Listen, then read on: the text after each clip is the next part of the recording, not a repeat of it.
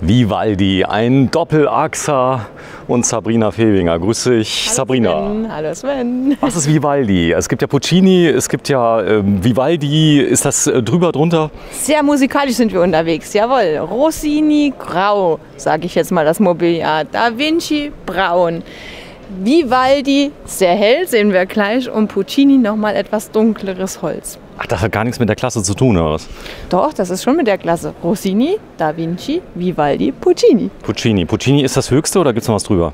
Puccini ist das höchste in der Oberklasse und dann gibt es noch eine Oberoberklasse, den Die heißt Cellini. Cellini, genau. Kann ich ja. Es gibt ja auch den Cellini Slideout. Steht ja hier dieses Jahr? Ja, der steht hier. So, zehn Jahre Dichtigkeitsgarantie. Warum braucht man denn eine Dichtigkeitsgarantie mit jährlicher Kontrolle, wenn, ähm, wenn das Produkt gut ist? Warum muss man jedes Jahr kommen? Ähm, beim Auto hast du einen Kilometerzähler dran. Beim Wohnwagen weißt du nicht, wie oft er bewegt wird. Und da er auf Holzständerwänden ja auch aufgebaut ist, ähm, viel bewegt wird, Spannungen auf das Gehäuse wirken, sollte man das prüfen lassen. So, wir sind ja in Deutschland. Das gute Hick, äh, Streng, GIF, was, was ist das? GFK-Dach. Glasfaserverstärkter Kunststoff. So, das High Strength heißt hohe Stärke. Und ähm, das bedeutet, äh, hier oben drauf ist Glasfaser. Ja. Hagelschlag, unempfindliches Dach. Ja, aber die Rückwand, wenn der von der Seite kommt, nicht gut, oder? Da schlägt es ein. Da schlägt es ein. Ist so da. Also ihr habt ha- schon mal Hagelschäden, muss man sagen. Ähm, was was wäre denn dein persönlicher Tipp? Es gibt ja Glattblech, gibt es beim Vivaldi auch das Riffelblech? Also das, wie nennen wir das, Hammerschlag? Hammerschlagblech, ganz genau. Ähm, das gibt es bei dem auch, ist Serie auch.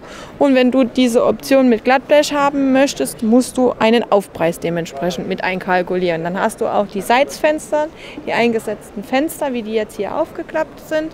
Und bei dem Hammerschlagblech hast du aufgesetzte Fenster. So, die Seitsfenster, man kennt sie. Die sind äh, sehr, sehr langlebig. Was sind da deine Tipps für die Bedienung, wenn man jetzt so ein Fenster hat? Wie kriegt man die am schnellsten kaputt? Wieso willst du die kaputt machen? Ich will die nicht kaputt machen, aber öfter mal, ähm, man kann sie fehlbedienen. Es ist eigentlich total simpel, die wieder runter zu machen. Äh, man darf sie bloß nicht schnell rauf und runter machen. Das habe ich gelernt in meinem Leben. Korrekt, du hörst das Knacken hier. Ja. Hörst du? Warte nochmal, warte mal. Ich will das mal. So gehen sie runter. Ja. Knack. So, und das ist das. Also man macht sie beim Öffnen langsam auf und dann funktioniert Wie mit einer schönen Frau, musst du ganz zart und einfach Mit einem schönen Mann auch. Ach so, Auch zart. So. du siehst hier, das ist für die Heizung. Die schaltet dann ab. So, ich nehme an, dass die Heizungsabgasöffnung hier ist und das wäre ein gefundenes Fressen, wenn das Fenster so ist, ja, jetzt mal ganz ehrlich, dann gehen alle Abgase schön in den Innenraum. Das ist ein Schutzschalter, das ist keine Alarmanlage. Ein Schutzschalter. So, jetzt siehst du hier, dass ein kleines Fenster da ist. Die Küche gehen wir gleich mal rein. Dann haben wir hier ein ganz tolles Reifenset. Wie ist der Name von den Reifen? Äh, von den Felgen? Das sind 17 Zoll Leichtmetallfelgen. Die gibt es in Kristall Silber und in Tabat Weiß glanzpoliert. Tabat weiß glanzpoliert. Eine Truma, ein Truma Mover, diesmal ein Vierkanal-Mover. Ähm, das heißt, du kannst den Doppelachser auf der Stelle drehen. Du solltest den nicht auf der Stelle drehen. Aber es würde, ich sag mal, der Wendekreis mit, mit vier Motoren ist natürlich extrem gering, oder? Ja. Wie funktioniert das? War eine Fernbedienung? Man hat eine Fernbedienung, der Mover wird automatisch an, äh, rangefahren, die Mover-Motoren. Du siehst ja hier die vier Stück. Brauchst du halt schon bei diesem äh, Geschoss. Und äh, dann kannst du ihn nachher wie ein ferngesteuertes Auto auf die Fläche bewegen, wo du ihn gern abstellen möchtest. Übrigens, das geht auch mit zwei Motoren beim Nachrüsten, aber dann ist natürlich auch äh, die Last am Berg ist ein Problem. Also es könnte sein, dass es dann Steigung. Und Punkt Nummer zwei ist äh, natürlich die Wendigkeit. Du musst öfter mal hin und her fahren. Das ist so. Ich hatte die mit zwei, ich hätte mir danach einen mit vier gekauft, muss ich sagen. ist so. Die Batterie ist ja dabei. Das heißt, der hat eine extra Batterie nur für den Mover. Wenn du das Paket, also dieses Allrounder-Paket, was Tabat anbietet, äh, bestellst, hast du die 12 Volt Mobilanlage und hast auch den Mover dementsprechend dafür mit drin. Du kannst aber die 12 Volt Mobilanlage selbst einfach nur einbauen lassen und rüst- rüstest dir einen Mover später nach. So, Stützrad mit Radlastanzeige. So, das heißt, ihr habt eine Waage eingebaut. Ja. Die ist da drin. Die geht dann hoch und runter. Alko 100 Kilo haben sie alt. 100 Kilo Stützlast. Also kannst du nicht mit jedem Auto ziehen, zumal äh, das Ding wiegt ja auch ein bisschen was, oder? musst du dementsprechend aufpassen, was deine Anhängerkupplung für eine Stützlast hat. Und dann musst du den Wohnwagen hinten wie, ein, wie eine Waage plus minus beladen. Ja, bitte auch achten, Gesamtzuggewicht steht im Fahrzeugschein drin, des gesamten Zuges. 0102 sag ich. 00102 gucken also nicht nur die Anhängelast, sondern auch das Gesamtzuggewicht. Ganz viele Fahrzeuge kommen nicht mehr in Frage von neuen Fahrzeugen. Ihr leidet drunter. Also bei der Anschaffung des Fahrzeuges guckt, am besten euch anrufen. Ihr könnt da wirklich gute Auskünfte geben, was für ein neues Auto beschafft werden soll. Denn ganz viele neue Autos können gar nichts mehr. Die haben äh, immer weniger Anhängelast. Ko korrekt, korrekt, ganz genau. Und dann äh, haben wir halt manchmal oder der Kunde das Nachsehen, muss man sagen, weil er denkt, ich habe ein großes Auto gekauft und ich sage immer, dann kann er nur noch einen Schubkarre anhängen.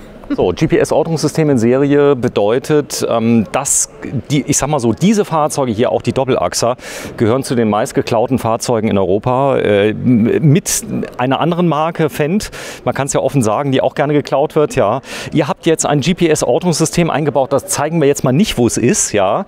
Es ist auch versteckt. Auch. Es kommt unterschiedlich von Modellreihe zu Modellreihe, immer irgendwo anders hin. Es ist aber, wenn man es suchten würde, ihr würdet es finden, wenn ihr wolltet. Äh, jein.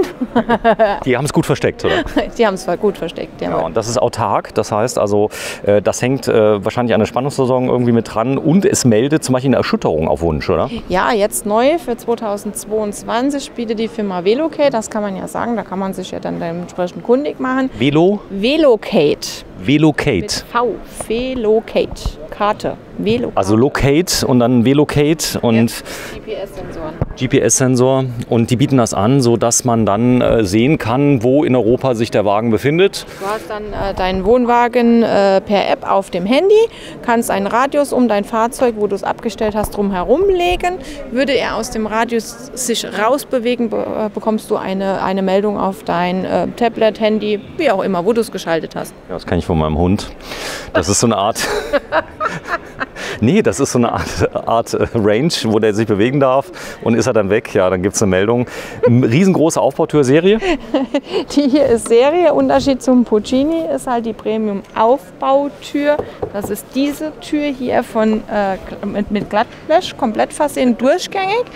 Eine Option wäre hier die Tapat Premium Komfort Aufbautür. Die hat dann hier oben ein Fenster. Die kostet Ich- dann halt Geld.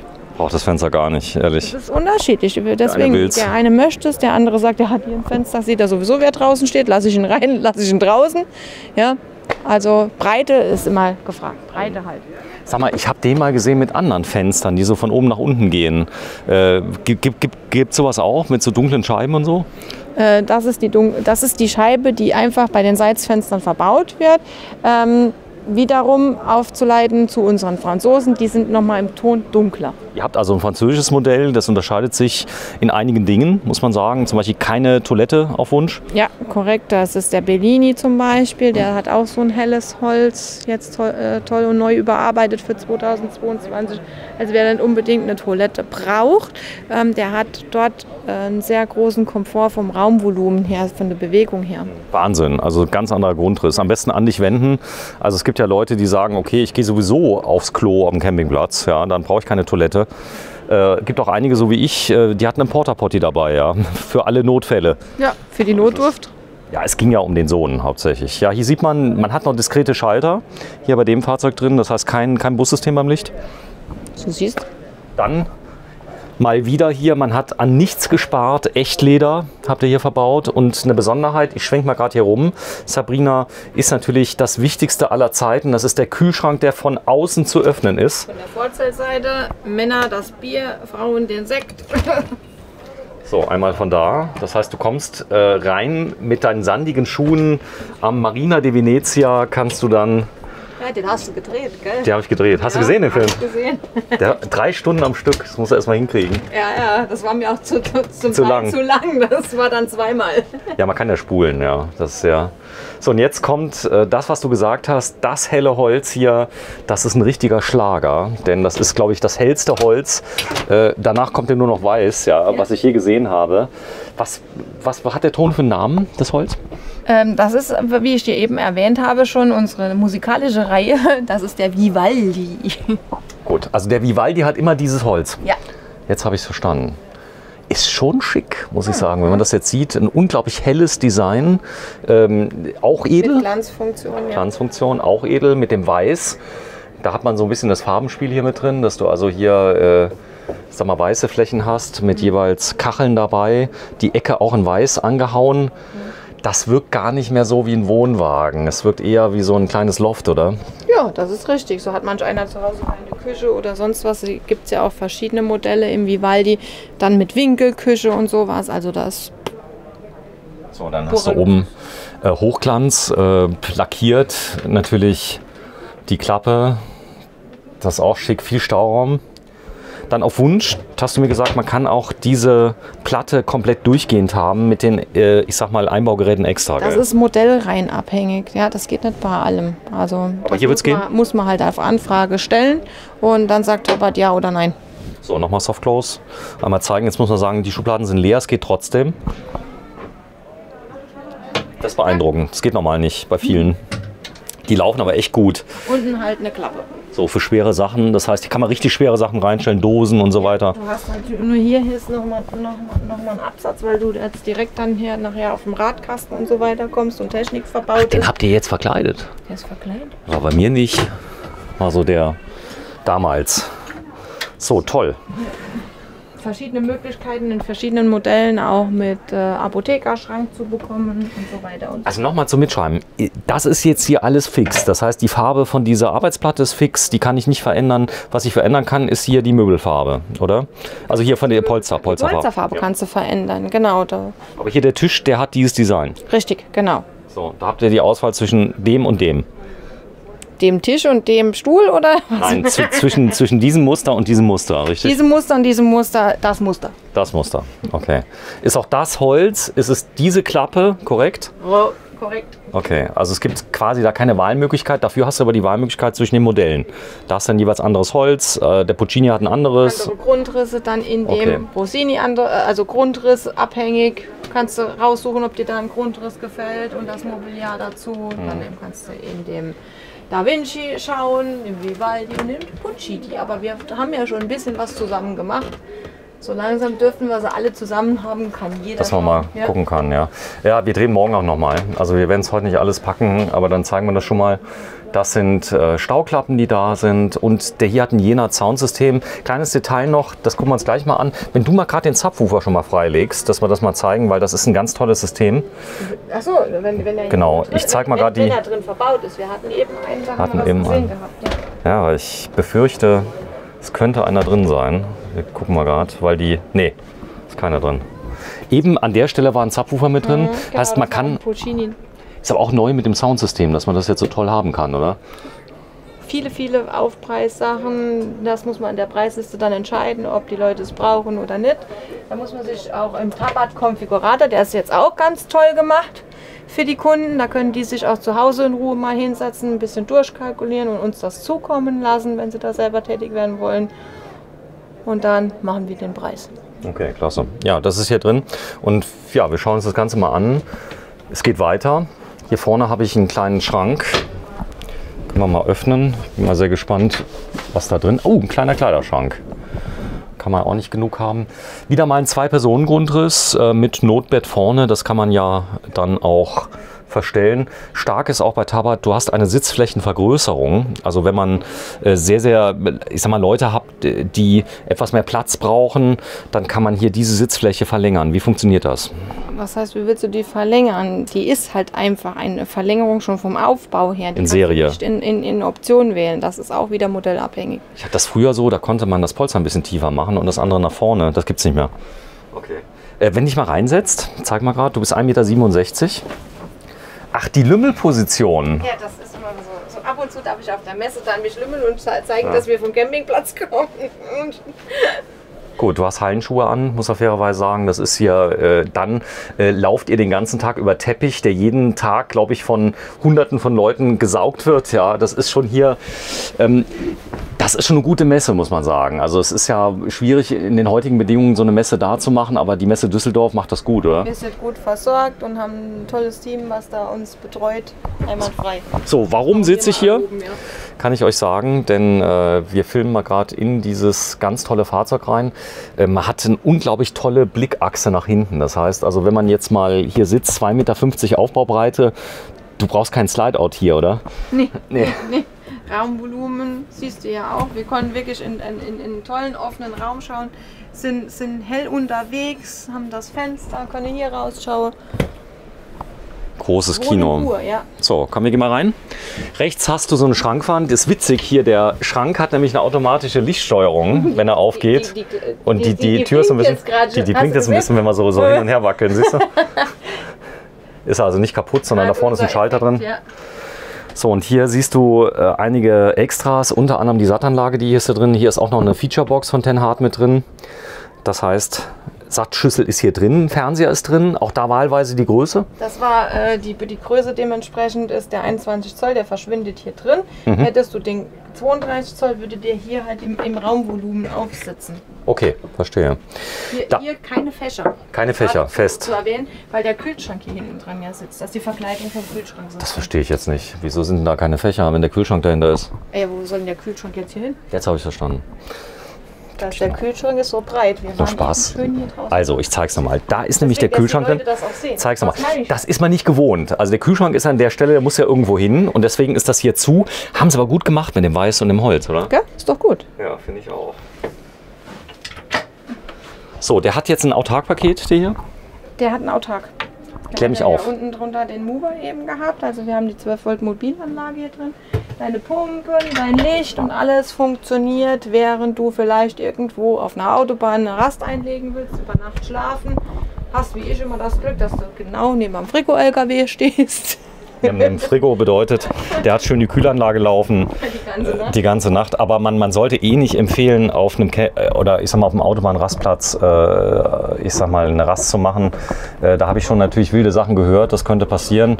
Äh, am besten einen Stellplatz aussuchen oder einen Das Campingplatz. ist oder? immer wichtig, aber ab und zu kommst du ja nicht drum rum. Also ich mache das auch so. Du machst das so? das so. Bist du hart?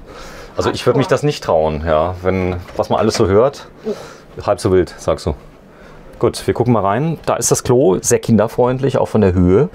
Das Klo finde ich ziemlich cool, wenn ich mal kurz draufsetzt, sagen wir so nett. Beinfreiheit, Mit Helfer Toilettenbank, du siehst, hier feste Bank. ja. Nicht zum Drehen, wie wir eben in den Fahrzeugen drin waren. Ja, brauchen wir auch nicht. Macht ja den Platz, oder? Ja, angenehm. So, dann hast du hier oben hast du einen Spiegel mit drin. Schön hinterleuchtet hier, siehst du auch. Ist das, ist das schon eher so, ich sag mal so, die, die freundliche Familienversion? Ist der ein bisschen günstiger wie der Puccini, der hier? Der Vivaldi? Ja. Der Puccini und der Vivaldi, je nachdem wie du es auslegst, kannst du auch von bis variieren. bis. Ja, ja. alles. Familienmodell, aber im Vivaldi auch zu erhalten, davon mal abgesehen. Familienmodell Stockbetten? Ja, korrekt, genau. Und das Bett ist dann wo? Dann Äh, das Bett hast du dementsprechend zwei Einzelbetten sogar, mit einer Rollbettfunktion, große Liegefläche. Das gibt es als Vivaldi. Ist es hier auf der Messe eigentlich?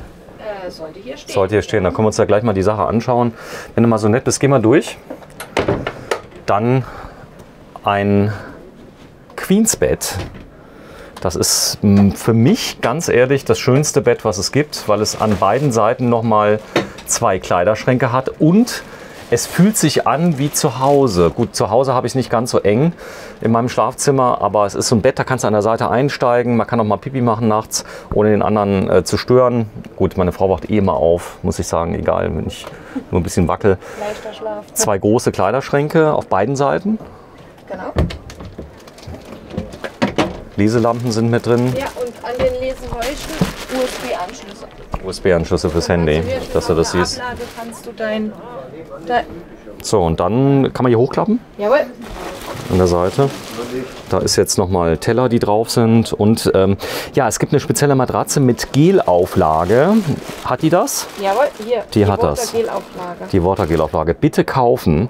Ist ein bisschen teurer, ist aber großes Kino, muss man sagen. Also ich persönlich habe es immer mitgekauft. Also es ist so ein ähm, thermo, thermoelastisches Gel, was oben drauf ist, was wirklich den Schlafkomfort nochmal erheblich erhöht. Bitte einmal hochklappen, denn das ist natürlich das große Raumwunder. Von der Seite auch zu beladen, hat der Klappen. Da eine Klappe auf der ähm, rechten Seite jetzt von uns gesehen, dass du da hinten was drunter äh, rein und rausnehmen kannst. Jawohl. Also hier kann man auch leichte Sachen drunter machen, wie Gartenmöbel, ähm, äh, Campingmöbel meine ich und so weiter. Und ja, toll. Ähm, der Puccini, spielt er eine große Rolle bei euch? Der Puccini und Nee, der hier der- Vivaldi der spielt Vivaldi hier, äh, ja. eine gro große Rolle, gerade auf der Tandemachse irgendwo. Hier stelle ich mich vielleicht auch mal rein, Ja, dass man das sieht, ich mal weil das Bad halt auf der Seite am Radkasten liegt. Aber dann sieht man das auch mal. Das Licht vom Bad, wo, wo ist das? Das Licht vom Bad wird außen abgeschaltet. Außen, wo denn? Weil du darfst ja hier in der Elektronik, darf ja in dem Bad keine Elektronik sein. So, das hat einen Magnet. So. Feste Duschtür. Ist auch nicht mehr so wie früher, dass die so irgendwie eingefasst war, sondern du hast viel mehr Platz. Ja, Und- aber das muss man halt bedenken. Siehst du hier? Achso, da der. Zeig mal bitte, wenn du mal aufmachst. Da ist der Radkasten, gell? An der Seite. Halt hier. So. Das ist der Radkasten unten drin. So, Dusche ist mit drin. Toll. Hier oben hast du dann noch so einen Handtuchhalter. Ja. Ich sage immer Bademoden. Mal testen. Ha. Weißt du, was die gemacht haben? Nee, die haben ein äh, LDR, kann LED nichts- Kann eingebaut. nichts passieren. Eben, Kann weil wie eingebaut. gesagt, du musst normal sonst von außen halt anschalten. Bin, Hast also du das Gimmick gefunden? ich, ich bin ein Spielkind. weißt ja, ist der- doch gut. Dann probierst alles aus und weißt du, was dahinter ist. Mach mal zu, bitte. Das ist für die Vereinzelung. Das heißt, wenn du. Ne, ich meinte eigentlich die, die Schiebetür. Die ist, ist aber. Klare, deutliche Ansagen. Bitte die Schiebetür schließen. Ja, dann heißt es immer, Männer sind so. Klare, Mach mal zu, bitte, ja. Toll. Sabrina, bitte nochmal öffnen. Diese Tür. Tür. Die Schiebetür. Damit sind wir schon. Also Blickachse, glaube ich, echt gelungen. Du kannst also von einem ganz großen Raum hier sprechen. Wir sind aber auch auf einem großen Anhänger. Denn ich sag mal, der hat natürlich schon seine Größe, die Länge. Du hast natürlich dein Prospekt jetzt nicht dabei, aber das ist nicht so schlimm. Ähm, die, die Zahl, die immer mit dabei ist, das hier ist jetzt der 685. 685. Das heißt, der ist ungefähr 8 Meter über alles. Ja, 9 Meter so viel haben wir ja schon mal so so irgendwas geguckt mit der Deichsel, dann Aufbau 690 so um den Am besten mal nachgucken. Ich schreibe es mal in die, in, die, in die Beschreibung mit rein, also die genauen Maße. Ihr habt es ja erwähnt, der Konfigurator auf Tabat, ganz neu. Ja. Ist er gut geworden? Der ist gut geworden. Der ist wirklich ähm, sehr zu empfehlen, wenn man nicht unbedingt jetzt sich irgendwo in Corona-Zeit auch irgendwo hinsetzen möchte. Ja, ähm, kommt zu uns. Wie gesagt, seid ihr gerne gesehen. Ansonsten kann man es zu Hause mit der Familie vorkonfigurieren. Dann gibt es einen, einen Barcode. Ähm, was heißt Barcode? So ein, ähm, so ein Code. Ein Code, ja. Den könnt ihr uns schicken. Und dementsprechend haben wir alles vorliegen. Dann sagen wir euch, braucht ihr, braucht ihr nicht oder was wollt ihr machen. Und dann machen wir euch ein Angebot. So, die Fliegenschutztür. Und dazu natürlich passend die Hier Kleine- zusätzliche Serviceklappe eingebaut. Das muss man vielleicht den Leuten auch nochmal erwähnen. Du hast ja die unten aus dem, unterm Bett in Serie und die hier kannst du als Zusatz nehmen, wenn du noch äh, von außen vom Vorzelt her äh, was einladen möchtest, wie, wie, wie Milchkästen oder was, was, was alles so reinpasst. optional ist es. Genau, dann kommst du halt von außen dran und musst nicht unter die Rundsitzgruppe. Gut. Da steht er, Vivaldi. Ja, ist nicht ganz günstig, muss man sagen, aber die Leute, die ja sowas kaufen, geht los bei 36.390, da ist er nackt. Und wie er hier steht, äh, 54 Kilo, ähm, ist natürlich schon hier nicht der schlecht ausgestattete, den, den sie geholt haben, oder? Ja, ja, genau. Man So. möchte ja zeigen, was man hat. Das ist der Grundriss von oben, also hier das Queensbett. Und das ist jetzt der Grundriss, Familiengrundriss, oder? Nee, achso, umgebaut zur Sitzma äh, zur Schlaf Nacht, Nachtansicht, genau. Schlafcouch. Tag und Nacht, dass man mal sieht, großes Bett auch möglich. Das ist ja da- das Queensbett, wo wir eben gestanden haben. Und ich sage immer, zögert nicht, uns anzusprechen und habt keine Scheu auch vor Tappert. Ähm, viele Leute laufen über die Messe, sehen die großen Preise und, und, und. Klar möchte man auf der Messe zeigen, was man alles bieten kann und was man alles hat. Und es gibt halt Leute, die sagen, das braucht man oder man braucht es nicht. Zur Messe jetzt hin, würden wir die Klimaanlage favorisieren. Das denke ich, wenn man südliche Länder fährt, sollte man noch mal mit erwähnt haben. Im Moment Messegimmick halt Truma Klimaanlage 990, Dometic Klimaanlage 890. 98. Was, was ist dein Tipp, Truma Dometic? Äh, das muss jeder selber entscheiden. Das ist, wenn man sich mal orientiert von der Gewährleistung her, ähm, Was denn jetzt? T, T, Truma. Truma. Gut. So ist es. Ja, ihr seid der größte Doppelachser Wohnwagen Tabathändler der Welt. ist gar nicht so schwer. Was sagen die immer? Europas, ja gut, es gibt ja ansonsten Tabat äh, nicht so stark, ja, so ist es. Und äh, das macht ihr schon ewig. Ihr habt spezielle Zielgruppen, die Doppelachser gerne kaufen, Tandemachser. Ähm, und das äh, zahlt sich aus. Das Ganze macht er nicht erst seit gestern. Und äh, ihr seid in Ida Oberstein. In Ida Oberstein, der schönen Schmuckstadt, kann man Urlaub mit verbinden, wenn man den Wohnwagen abholen kommt. Ähm, kann man bei uns auf dem Platz übernachten und wir stehen euch Rede und Antwort und sind noch vor Ort, wenn ihr irgendwelche Hilfe braucht. So, Unternehmen heißt AMC Schmidt mit Doppel-T. Einfach mal googeln, äh, Wohnwagen Ida Oberstein oder Tabat äh, Ida Oberstein oder manchmal langt sogar schon überhaupt mal Tabat Doppelachser oder so, dann kommt ihr schon, aber ansonsten einfach eingeben. Du bist äh, die Geschäftsführerin. Jawohl. Ja. Hast du gut gemacht. Äh, das wievielte Video ist jetzt, was wir gedreht haben? Ui, Kannst du gerne wir mal haben erzählen. ein paar Stück gemacht, genau, wir zwei. Tschüss Sabrina.